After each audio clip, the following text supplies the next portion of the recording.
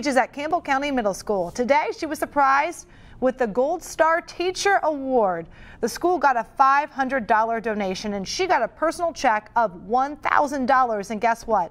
She ended up giving that money to a student with cancer. Oh, what a sweet. great, great move. Now, Yeah. Bonfield was voted as the winner out of more than 900 nominees. Mm. Congratulations. I think you can see why she won with act. From breaking news to feel good stories, Local 12 has it all. Tap subscribe and click the links for more content like this.